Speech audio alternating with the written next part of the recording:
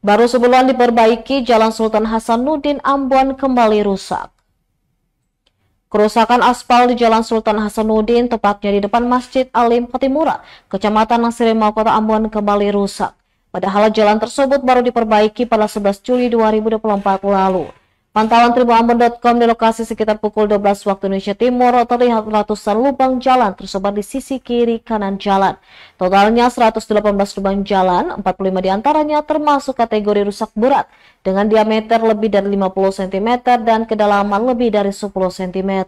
Sementara sisanya 73 lubang masuk kategori kecil dengan diameter kurang dari 50 cm dan kedalaman lubang kurang dari 10 cm.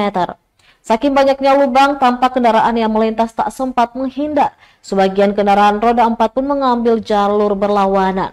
Salah seorang pengendara, Moyo mengaku kerusakan jalan itu semakin parah dibandingkan bulan lalu. Menurutnya perbaikan sebelumnya tidak dikerjakan secara maksimal. Buktinya baru sebulan diperbaiki aspal kembali rusak.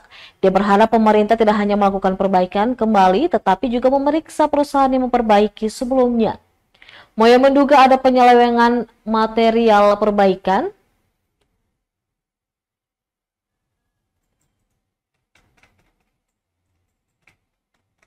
sehingga menyebabkan aspal rusak.